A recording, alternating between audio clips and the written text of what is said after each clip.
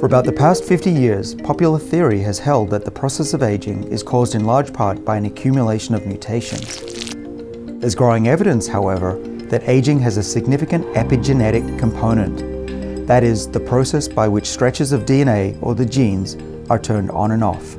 My colleagues and I believe that not only are epigenetic changes a primary cause of aging, but that these changes are driven by the ongoing process of DNA breakage and repair. Why do we think this? Here we have two mice from the same litter, essentially twins. We checked, so we know that they have the same DNA sequence. The only difference between the two is that in the older looking one, the break and repair process was accelerated, and this caused epigenetic changes. Part of the epigenetic process involves the packaging of DNA. When genes are not active, they're packed tightly in chromatin, but sometimes this packaging loosens, giving the cell access to appropriate genes.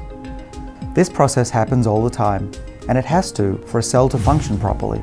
Certain areas of the DNA structure within a liver cell, for example, need to loosen to allow access to liver-specific genes. Unfortunately, naturally occurring DNA breaks cause changes in the chromatin structure, and over time, this happens a lot.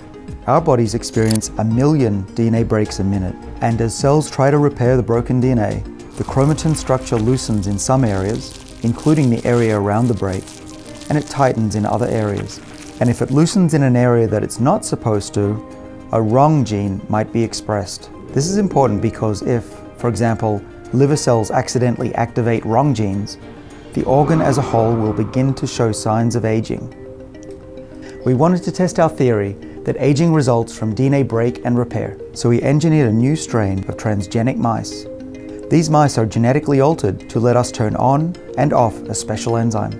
When we turn the enzyme on, the DNA within many of the mouse cells are cut at a number of locations at a rate that is about three times the natural frequency of DNA breakage. And each breaking of the DNA initiates a repair, Special proteins that regulate chromatin structure and gene expression move to the cut DNA. The proteins loosen the chromatin and recruit other proteins that repair the DNA. When their work is done, the proteins usually move back to their original locations, and the chromatin structure, the packaging, usually resets to its original tightness. In our mouse, as long as the enzyme is on, cuts are initiated in the DNA. With many breaks happening, the repair proteins are very busy, and this is an issue with each successive fix, the proteins don't always return to their original locations, and the chromatin structures at the repair locations don't always reset to their original tightness. Actually, the process is a bit more complicated. There are other proteins involved, and these proteins, in addition to assisting with DNA repair, are also responsible for turning genes on and off. With each successive fix, the proteins become more jumbled. This jumbling results in some genes that were initially turned on to turn off and other genes that were turned off to turn on. Changes like these alter the cells enough to cause them to become more dysfunctional. By the way, just to be sure we weren't disrupting the function of cells, we didn't cut in random places. Instead, we avoided regions that code for genes. So what did we find? Here are the two mice I showed you earlier. They are both 10 months old. The older looking mouse had the cutting enzyme turned on for three weeks when it was young. The other didn't.